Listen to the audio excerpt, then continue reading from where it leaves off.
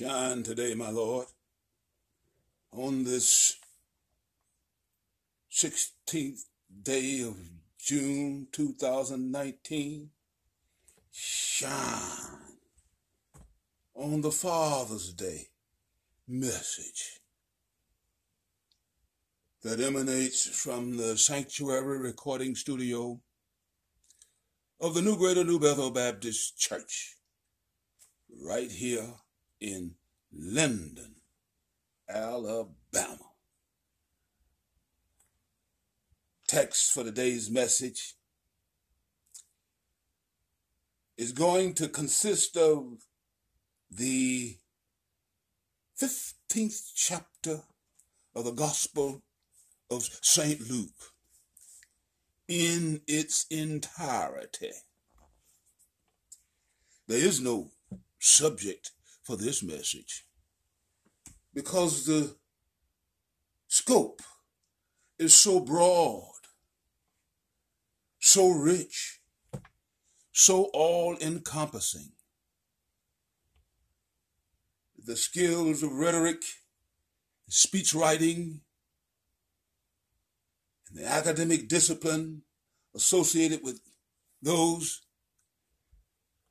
just doesn't afford me the luxury of assigning a subject to this message. However, I do have a little three point outline that I want to try and develop in this Father's Day message. Before I do that, before I delve into the message, I want to again call for I want to call for reparations to be put on the national agenda in Washington, D.C. on this Father's Day. And I wanted to come from the Juneteenth celebrations in Texas and throughout these United States of America. The time is far spent and past due for the wounded to be made whole in this country. I agree with Richard Ney when he said that the controllers are spinning a crooked wheel and they're dealing from the bottom of the deck. We need to be made whole. The Civil War didn't do it. And I don't want to even get off into what it means to be a black father in white America. I Don't want to deal with that. But it is time. Now, I'll say this. The 15th chapter of the Gospel of Luke comes in the last months that Jesus had to live. You and I are going to come to our last months at some point in time. Just keep living. Uh, now, for my three points. Point number one there are in this chapter lost sheep, a lost coin, and a lost son. All immensely valuable. Point number two, I'll have a little bit to say about the insanity of sin. I might even touch on moral bankruptcy. And I'm going to scoot out of here with the third and final division in this message, which I have labeled the Great Decision. Because if I do my job as a preacher, I will extend the call to discipleship and ask you to make a great decision.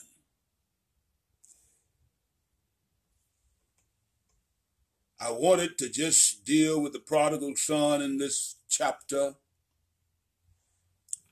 but I would be doing Jesus and St. Luke an injustice to focus just on the lost son. I've considered a few experts, Dr. Tellis Chapman, Reverend Willie Billy Graham, Reverend Charles Stanley, the late Dr. Oliver B. Greene probably was most influential in my ministry. And this is what Dr. Greene had to say. He says that the editors and commentators made a mistake in this 15th chapter of Luke by citing several parables a parable of the lost sheep, parable of the lost coin, parable of the prodigal son. Dr. Greene says that they made a mistake. This is not three parables. This is one parable with three parts. I like that. Uh,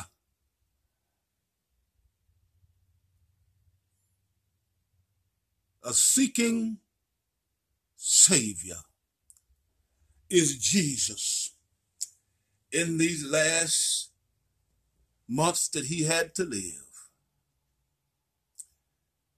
Uh, in Luke 15 and 6, It says, And when he came home, he called together his friends and neighbors, saying unto them, Rejoice with me,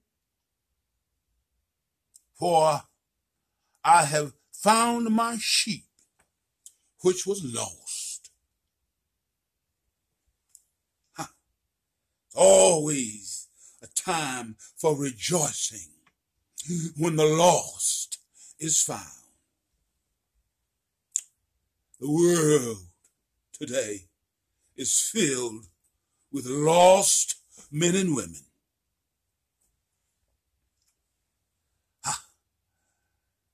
It's the soul winner's joy. Call, Tellis Chapman said, eh, it's party time. Call for celebration. The soul winner's joy because my lost sheep was found.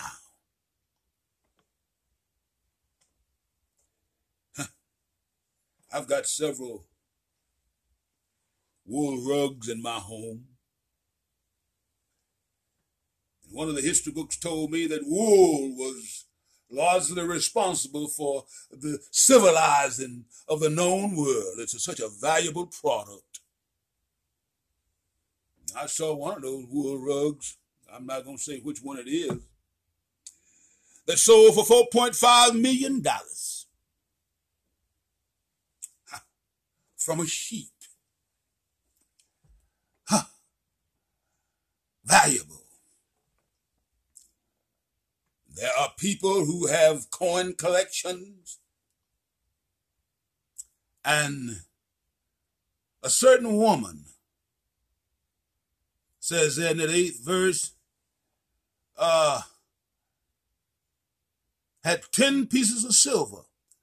And if she lose one piece, did not light a candle, whew, light a candle and sweep the house, seeking diligently till she find it, that lost piece of silver, valuable, down through the years, silver, valuable.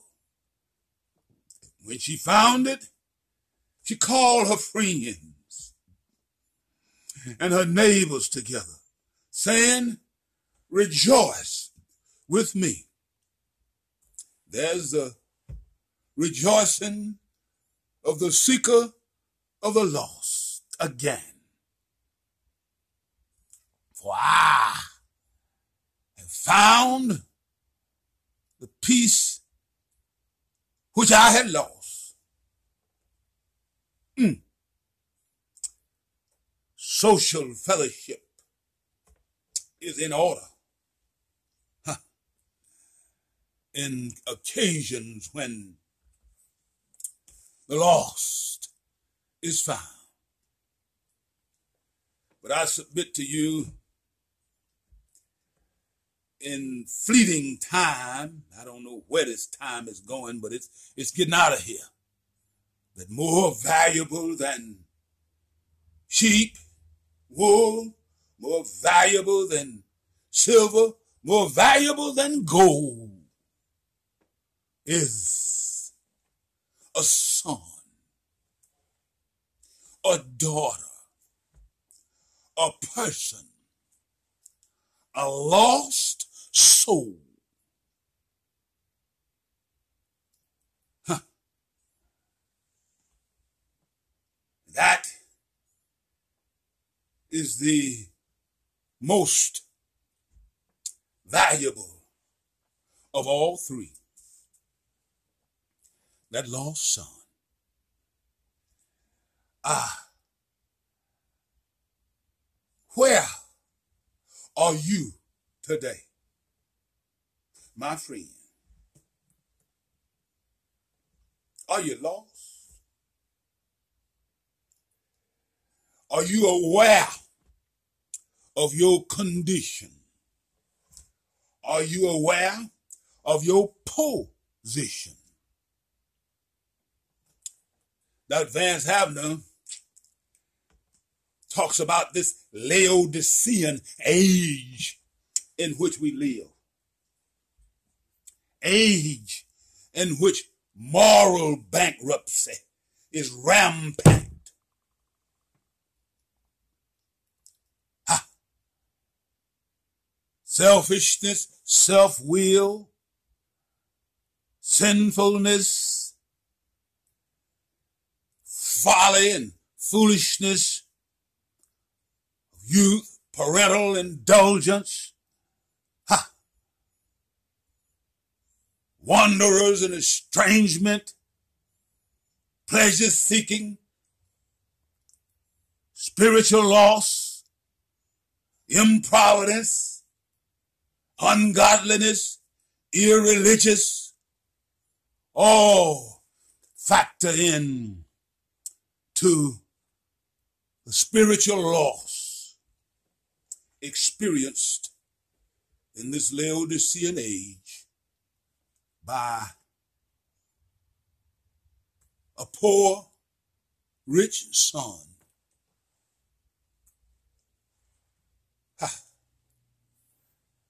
Billy, uh, uh, uh, Billy Graham said this son took one third of the family wealth and blew it.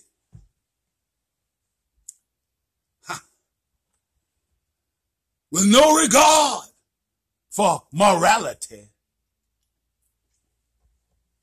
It was a case of the insanity of sin. Let me tell you something. To insert a little bit in this message uh, about, let's give you the definition of sin. sin is a transgression of the laws of God. And it drives a person crazy to live without regard to the laws of the one who may rule, and sustain heaven and earth. That is crazy. Insanity. But Charles Stanley says this parable of the prodigal son is a story of hope. It's a story of love, a story of a loving father. A loving father. Chapman tells us that, well, Oliver Greene said that that father had been looking in the direction that that son left ever since the day he left home. And then Chapman says the reason why he was looking was because he wanted to be able to get to the son when he returned home before his servants saw him. Because his servants had a privilege and a duty to kill a son that had committed such foolishness. And the loving father had been looking in the direction that son went ever since the day he left home, waiting for him to come home. You see where I'm going with this. God is waiting for you today. What you have to do is what it says there in that 17th verse of Luke 15. That, and when he came to himself,